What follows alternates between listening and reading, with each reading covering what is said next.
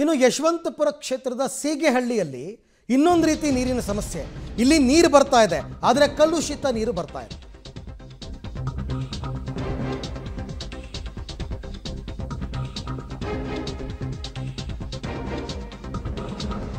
ಕುಡಿಯೋದಕ್ಕೂ ನೀರಿಲ್ಲ, ಬಳಸೋದಕ್ಕೂ ನೀರಿಲ್ಲ. ಯಶವಂತಪುರ ಕ್ಷೇತ್ರದ ಸೀಗೆಹಳ್ಳಿಯಲ್ಲಿ ಜಲಜಂಜಾಟ ಬೋರ್ವೆಲ್ನಲ್ಲಿ ಬರ್ತಾ ಇದೆ ಕಲ್ಲರ್ ಕಲ್ಲರ್ ನೀರು. ಕಸ ಘಟಕ ಇರೋದ್ರಿಂದ ಅಂತರ್ಜಲವೇ ಕಲುಷಿತ ಆಗ್ಬಿಟ್ಟಿದೆ. ಹಳದಿ ಮಿಶ್ರಿತ ನೀರು ಬಂದರೂ ಕೂಡ ಡೋಂಟ್ ಕೇರ್ ಯಾರೂ ತಲೆ ಕೆಡಿಸ್ಕೊಂಡಿಲ್ಲ.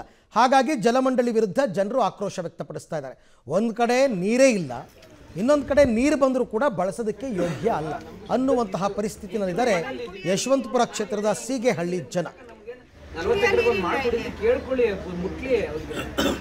ಈ ತರ ಕಲುಷಿತ ನೀರು ಕುಡಿದು ಅವರೆಲ್ಲ ನಾಲ್ಕು ನಾಲ್ಕು ಸಾವಿರ ಒಂದು ಲೀಟರ್ ಕುಡಿತಾರೆ. ಅಟ್ಲೀಸ್ಟ್ ನಾವು ಒಂದು ಒಳ್ಳೆ ನೀರು ಕುಡಿಯೋದು ಬೇಡವಾ? ಅವರೆಲ್ಲ ಒಂದೊಂದು ಲೀಟ್ರ್ ನಾಲ್ಕು ನಾಲ್ಕು ಸಾವಿರ ಅಮೇರಿಕಾ ಅದು ಇಲ್ಲಿ ಅಲ್ಲಿ ಇಲ್ಲಿ ತರಿಸ್ಕೊಂಡು ಕುಡಿತಾರೆ. ನಾವು ಕುಡಿಯೋದು ಕೊಚ್ಚೆ ನೀರಾದ್ರೂ ಚೆನ್ನಾಗಿರೋದು ಬೇಡ ಸರ್? ಹಾಂ ಅಷ್ಟೇ ಆಗ್ತಾ ಇರೋದು